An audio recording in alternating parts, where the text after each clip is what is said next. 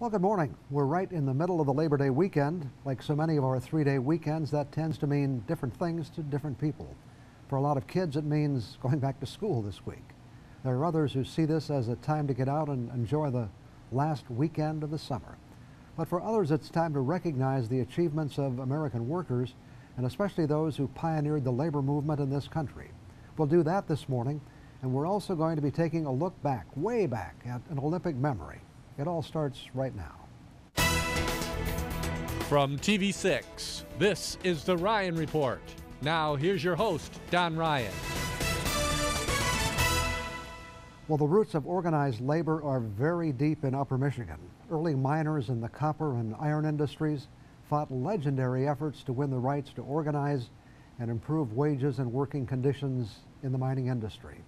In the years to follow, other unions became part of the fabric representing workers on the railroads and the building trades, communications, the ladies' garment workers, and more. But what's happening today?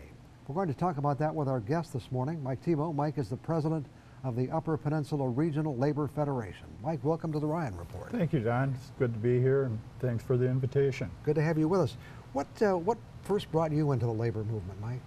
Well, I guess I was one of those lucky kids that uh, uh, I lived in a locale that uh, I had a lot of building trades folks uh, in the community. Uh, a couple of them took me under their wing and got me into an apprentice program with the iron workers and 47 years later, wow. here I am. Uh, so I guess you could say I made a career out of it. You've probably put up a lot of steel. Huh? I, I, have. I uh, had the opportunity to work on both the uh, mine facilities, the Empire and the Tilden, when I first showed up at the Tilden, it was just a rock pile. Sure, sure. Uh, got to work on the ore, ore storage facilities, both of those, and concentrate buildings and, and whatnot. And, and a lot of ongoing maintenance that we assist the steel workers with at different times. Sure. And, uh, you know, it's been, uh, it's been a, it's a shame to hear about the empire. Yeah, and we'll talk about that in just a minute. Um, and those probably back in the days when, when you went to school, they gave you some things to work on with your hands too, wasn't it? Be yeah, it, it manual training or industrial training, I think is what they called it around here. Uh, yes, we uh, of course we had a school uh, shop that we right, attended, shop uh, classes. and uh, welding. Uh, got our welding certificates in place there, and and learned a lot of a lot of the crafts uh, do the same thing in their apprentice programs. You right. know that that's where you really learn the nuts and bolts of uh, how you perform on the job and and uh, and the etiquette of working on a job. Certainly, you know, in, in recent years, organized labor has experienced some some wins and some losses. How, how do you see the state of the labor movement here on this Labor Day weekend? Uh, actually, I, am real optimistic, Don. I, I, I sense a tick up uh, yeah, for the labor movement, uh, you know, uh, based on uh, just the, the opportunities that are out there right now. Uh, maybe not as much in the public sector, but in the private sector, there's a lot of growth, especially in the Marquette County area and other areas of the UP. Unfortunately, we're like any other region of the of the state and, and the country, uh, you know, through technology and and um, businesses uh, shipping uh, overseas to manufacture overseas and in Mexico and that. There's that's the downside. We've, we've lost membership, uh, but that seems to be changing now, and, and the membership is now growing again. Uh, and that's kind of what led into uh, the, art, the regional labor body. I was going to say before we get to that that clearly, you know, there are differences between labor and management over the years, but uh, there, there's no question that organized labor did so much to raise the standard of living and create safe working conditions in this country when we go back to all the many years the labor movement has been active. Uh, some of the general public doesn't understand that, you know, it is organized labor that really sets the bar down uh, for wage standards in an area. Uh, and, you know, we, we don't discriminate against uh, open shop or non-union workers. We, we feel anybody that's performing a, a trade or providing a service uh, deserves to be paid well, receive good benefits, family sustaining uh, uh, insurance and benefits, and uh, so it, it's our goal to assist local unions and organizations uh, that represent people in the workforce to reach that. Okay, and- what is the UP Regional Labor Federation? What is this organization? Fairly new? Uh, it's two years old, Okay. and uh, it, it was formed uh, out of, I, I hate to say necessity, but it was necessity. We uh, formerly we had six central labor bodies covering the UP. One on the eastern end, the western end, Menominee County, uh, Delta County, Dickinson County, and Marquette County. and through loss of membership uh, and quite honestly interest at, at different points, you know, it's all volunteer work. Uh, people that work on these councils and chair the councils. And uh, so we started losing membership and involvement. Uh, and the National AFL CIO made a decision to form regional bodies. Uh, we still have five community councils active in the UP, but they're under the umbrella of the Upper Peninsula Regional Body. Okay. So, uh, you know, and we, and we assist the local community councils uh, in whatever actions they're in- into or uh, projects they're involved with.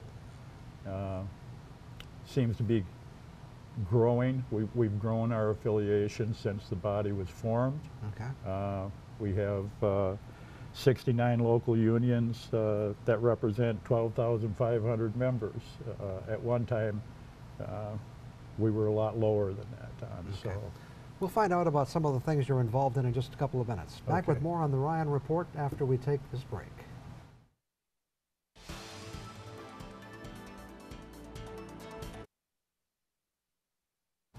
Our guest this morning is Mike Thibeault, the president of the uh, UP Regional Labor Federation. Mike, what are some of the things the federation's involved in? I, I know, for example, you're working closely with legislators and government. to- Uh, Yes, we've been able to uh, get commitments from our UP legislators to meet with the uh, Federation on a quarterly basis, and we've been doing that for two years, uh, to talk about issues that affect working families.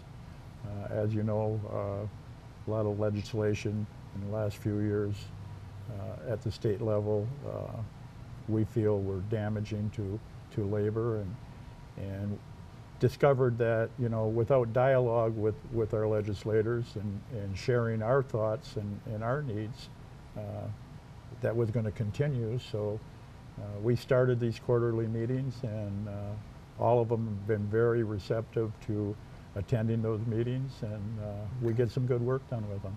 I know one of the issues you're also concerned about was the big box store issue. Tell us about that. Yes, uh, everybody's probably aware now of the tr- tax tribunal's uh, decisions. Uh, uh, someone discovered uh, a loophole Right. uh, in the tax law that allowed uh, corporations to, retail corporations to apply for a dark store status. Uh, and it's it's really, you know, it, affects our communities down so much uh, in revenue. For example, uh, Peter White Library had to close one of their days of service to the community, uh, lost staff, and and that continues to go in that direction. And, uh, you know, there's some legislation uh, in place or or being offered and acted on uh, that is going to try to close that loophole somewhat. But, you know, and the Regional Labor Federation has been involved with two groups, uh, Save Marquette, Save Michigan Group, uh, which is the Bright Store effort, and also the Marquette County Citizens for Fair Share. Uh, those two uh, entities are hosting the premiere of Boxed In. Uh, it's a short documentary done by Dwight Brady from NMU and his students uh, that exposes the uh, efforts by the tax tribunal and the corporations uh, to enjoy this benefit. Uh, we feel that you know, typically a corporation, a retail corporation moves into the area, they get tax breaks to begin with, and then they apply for, for this loophole. And, you know, it affects services, uh, it, it affects the community greatly. Uh, now, the Bright Store folks, the Save Marquette, Save Michigan, have actually signed up 170 stores, local stores in the area that uh, have made a commitment not to apply for those kind of tax breaks. Okay. We're going to have to move along because I do Sure. want to mention Empire Mine. I, I know you're actively involved there as well, Yes, trying to find more opportunities for the sure. workers. In fact, next week we'll be working with, uh, alongside Michigan Works and some other agencies to uh, share thoughts with the displaced workers uh, on possible opportunities, primarily uh, in the building trades. We're going to be looking for some help with all the work uh, in the area. Um, There's apprentice programs available uh, and, and different ways to slot into the work that, that we think we have something to offer. And, and uh, I'll be there talking to some of the steel workers that are going to be displaced and, and sharing what, I- what I know about the apprentice programs and availability. And we don't want to forget to mention that you have a big Labor Day celebration coming up in Ishpeming, which is actually tomorrow. our 27th, uh, and we'll be, uh, we're excited about it. We've held it in Ishpeming now, I, I think 13 or 14 years.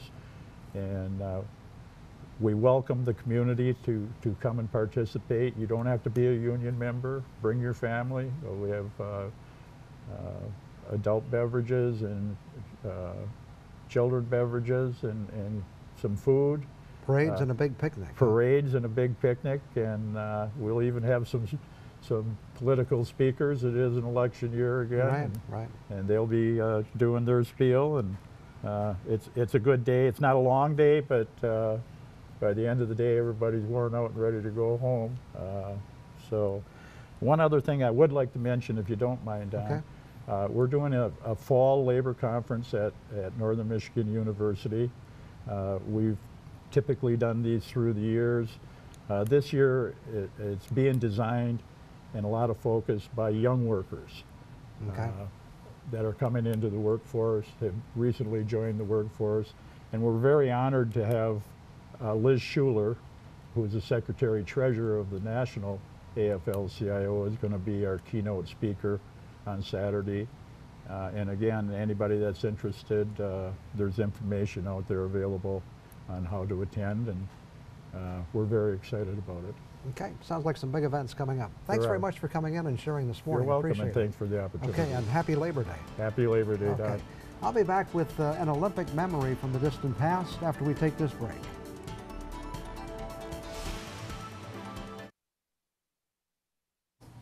Well, the Summer Olympics are behind us, not to be heard from again for another four years. Among the memorable moments were those special times when U.S. athletes experience the excitement of winning a medal. It's a very special feeling that few get to enjoy. On a much earlier edition of the Ryan Report, I had a chance to talk with someone who shared that experience. Picabo Street was a gold medal winner in downhill skiing in Japan in 1998. As a wrap up on the Olympics, I thought it would be fun to bring back part of that interview. The setting looks a little different, but it was an interesting conversation. And I asked Picabo Street to describe the feeling that came with winning her gold medal. It was a superstar moment. Honestly, it really, it, felt really euphoric almost. It was kind of dreamy like, and um, you had to kind of pinch yourself and say, "Wow, did that really just happen? Am I, you know, did I really just accomplish what I've wished on 11:11 on the clock? I've wished on stars. I've I've been wishing and wishing and wishing and hoping and wishing all of my life for this moment that is that is happening right now. And I'm such a patriotic person too that it was such an amazing honor. And I didn't really feel like it would hit me as hard as it did when they announced, you know, Picabo Street, United States of America, Olympic gold medal, and up goes the flag, and here comes our national anthem in my honor, and it just um, was absolutely one of the most beautiful moments I've I've ever been a part of, and the coolest thing is my brother and my dad were there to experience it with me, and that was very very neat because my whole career has been a big family effort. You- You kind of, you said that in the book, that everything that was important to you was there, your family, your yeah. country, your, your My your mom was ski team. missing. Right. My mom yeah, was missing, yeah. but uh, someone had to hold down the home front. So You know, you said that for ski racers, there's kind of a fine line between uh, going forward and holding back. Yeah, Obviously, uh, obviously, confidence is, has to be a huge part of Absolutely. a downhill ski's skier's right career. Can, uh, can you tell us about that? there's a certain amount of love for that speed and love for the fall line that I've found as a common denominator in a lot of the speed demons that I've met in my life, whether it be um, ski racers or car racers, um, you know, even even some of the freestyle skiers that ski moguls. It's surprising how much speed they actually get and accomplish while they're on their runs and there has to be a love for it i think i think it's really difficult to come into it being fearful and nervous and not really loving all of that speed and all that fall line and so i felt like i had an advantage in a way by having such a, a love for that speed and, and being able to wrap my brain around it and being very comfortable there and um, a lot of people think I'm crazy, and yet I kind of equate crazy with, with stupid moves, and I don't consider what I did stupid. I took a lot of the precautions that needed to be in place in order to fatten my margin for error. Um, I just think that I really am okay at a fast speed, and my brain can process everything that's coming and really and really love it. And so. Um, So the key is to kind of take it to the edge, but not beyond. Absolutely. And the thing is, is you have to go beyond the edge in order to know exactly where it is. And when you're winning and losing by one one hundredth of a second, you have to know right where that minuscule line lies and be able to get right to it and ski just this side of it. Um, but every now and again, you have to cross it in order to, to keep track of where it is. And that's where some of the injuries come into play. But I fell 10 times more than I got injured. You know, I walked away from some pretty horrific looking crashes. Um, and that was just me testing that line and, and finding it.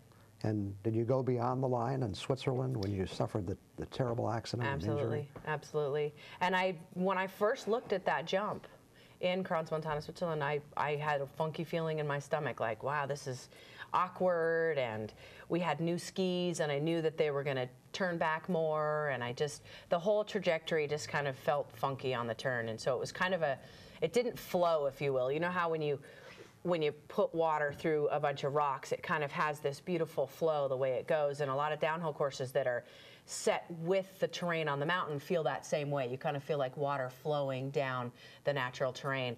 And there are certain courses that have parts that feel funny, like they're going to slow everything down, and it's really hard to even visualize yourself flowing through it nicely, let alone be able to physically make that happen as well. And so I knew that it was going to be a weird spot, and um, we only had one training run. So I only had one kind of test run at it, and then everything gets the switch gets thrown, and everything, you know, intensifies greatly on race day. And so I went in there almost a full second faster than I had in training, and I just I misjudged it. It was just pilot error, and um, part of it was because my brain and my heart and my emotions were still in America and still with my family, wishing that I was kind of, you know, still in that patting myself on the back for what I had accomplished zone. But it was scary. Being satisfied and being content was a very scary place for me. It wasn't somewhere where I thrived often. So I kind of ran away from it and back into skiing, and that's what got me in trouble there. Were there any disappointments in your life? I think everybody always has disappointments in their life, but when you look back on it, without those disappointments, there's a lack of growth. And so I look back on it with a glass half full attitude and say, the things that I've accomplished in my life, the things that I've missed out on, uh, the disappointments that I've had, and the successes I've had have rounded me out and made me the person that I am today. And I can honestly say I don't think I would change anything. Picabo Street, Olympic gold medal winner in the Winter Games in 1998. That was part of one of my favorite interviews ever. I hope you enjoyed it. I'll be back with some thoughts about school days after this break.